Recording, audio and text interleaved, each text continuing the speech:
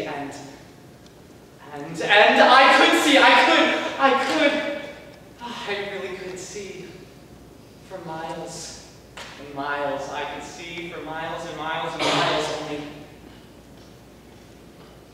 Take all the time to build a telescope. I could see for miles. There's nothing out there to see. Mother says it's a lesson life. What's the perfect balance between yelling too much and not yelling enough so that people don't walk over you? Is it crying just to want to be nice, to avoid confrontation, show everyone a little respect? Time after time.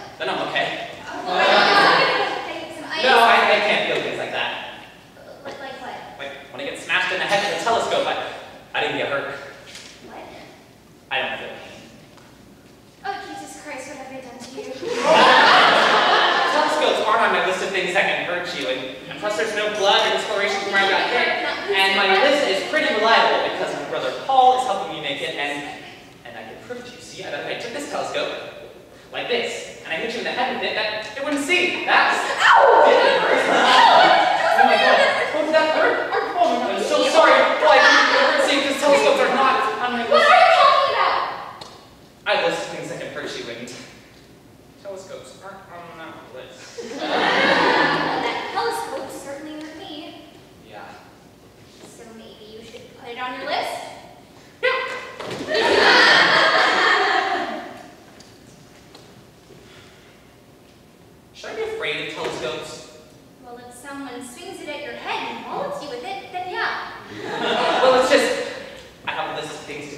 up, and telescopes aren't on this list either. Well, you shouldn't be afraid of telescopes, really. No? No. But they can hurt me. Yes, um, So I should be afraid of them. No! So I shouldn't be afraid of them? but they can hurt me. Well, if someone uses it the way that you just did, then yeah. Oh, oh, I get it. So they're kind of like the opposite of God.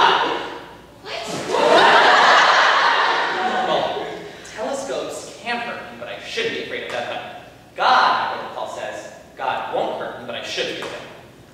I guess. This is getting very complicated. What is? This business of learning what hurts, what doesn't hurt, what to be afraid of, what not to be afraid of. Are you sure you're okay? Because you're just going oh, on. Oh, yeah. So I have congenital analgesia. What? Congenital analgesia. My brother Paul. Some people call it hereditary sensory neuropathy type 4, but it just means I can't feel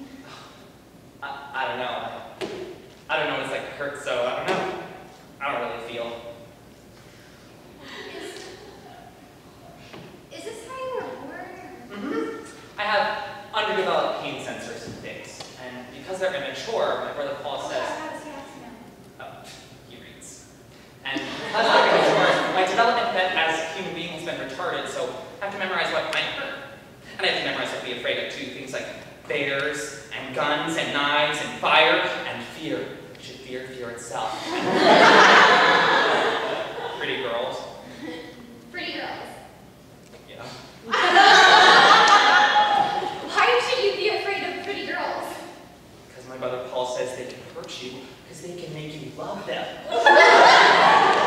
and that's something I'm supposed to be afraid of too, love. But my brother Paul says I'm really lucky because I'll probably never have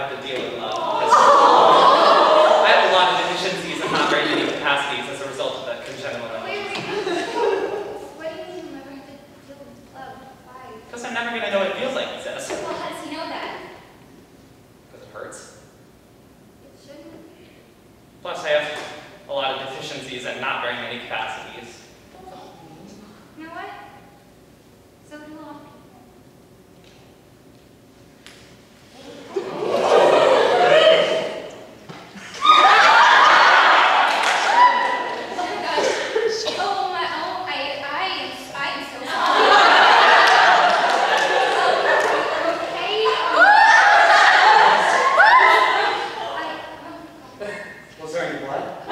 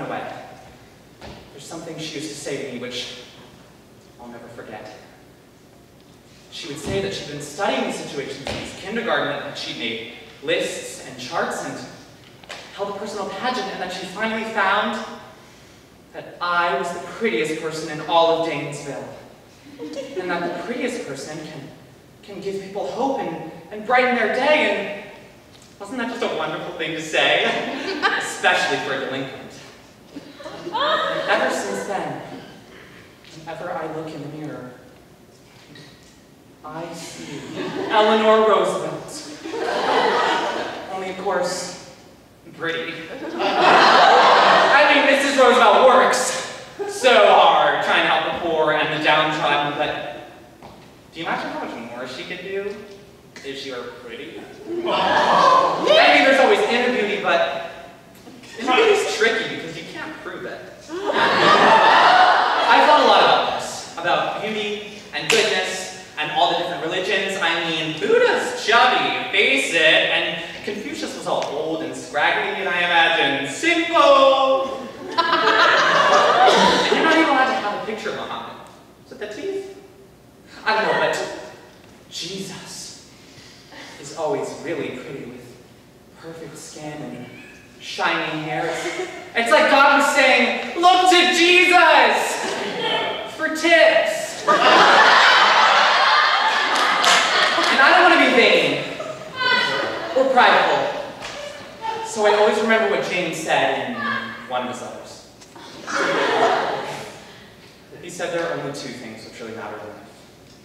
Youth and beauty.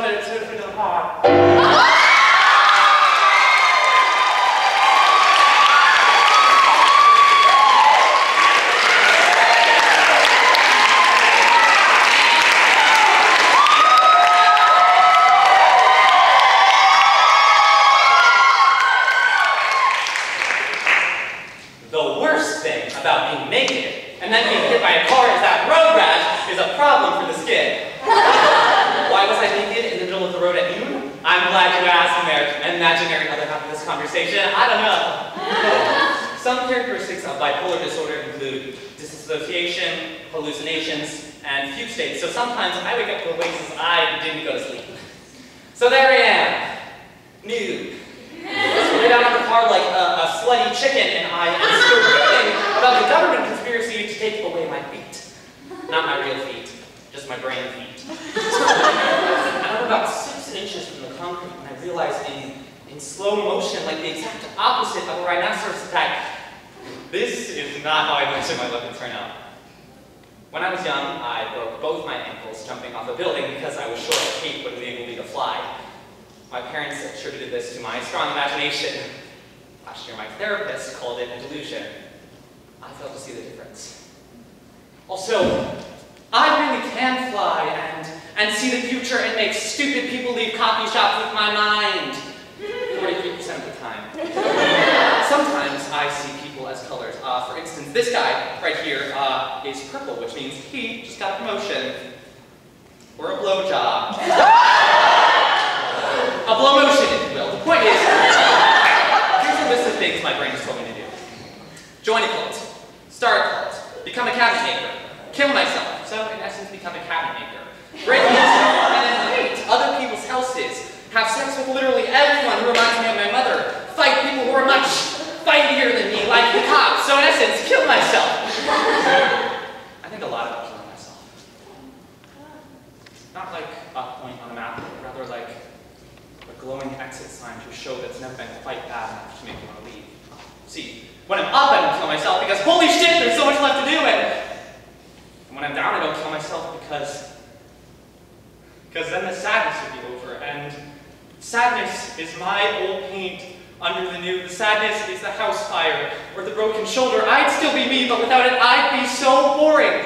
They keep telling me seeing things that aren't technically there is called disturbed cognitive functioning. I call it having a superpower. Once I pulled over on the 110 freeway and jumped out of my old Jeep because I saw it burst into flames 20 seconds before it actually burst into flames. I, I knew my girlfriend and I would be together because she turned bright pink the first time she saw me.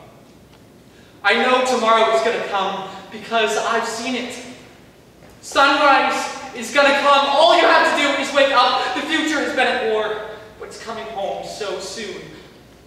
The future looks like a child in a cape. The future is a map and a treasure. The future looks just like gravity. Everyone is slowly drifting towards everyone else. We're all going to be a part of each other someday. Future is a blue sky and a full tank of gas. I saw the future. I did. And in it, I was alive.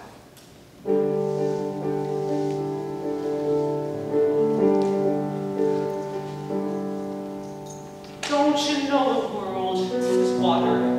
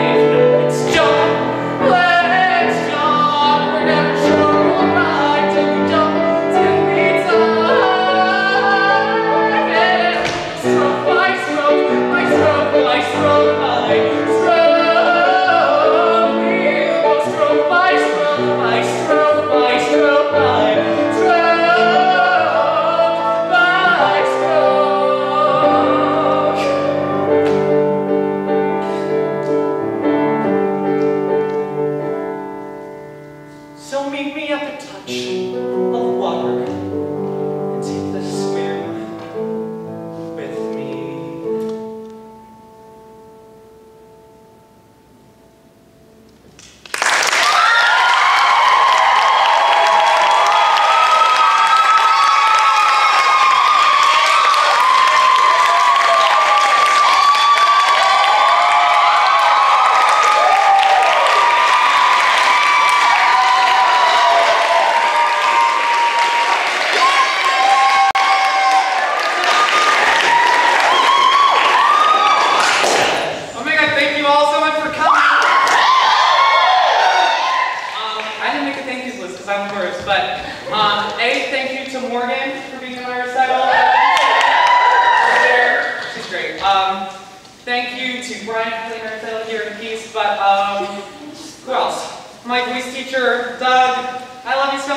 Thank you. Thank you to all the classes for coming. Freshmen, I only know a few